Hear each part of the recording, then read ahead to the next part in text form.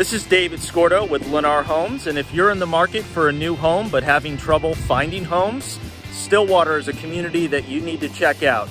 We're an active adult community with a golf course and a country club that'll be opening this summer. And we are currently in our second phase where we have over 40 plus homes under construction. A lot of those homes are available as immediate purchases and we'll have homes that'll be closing as soon as this the end of this summer into the fall. So come out, check us out, and let's see if Stillwater is the right community for you.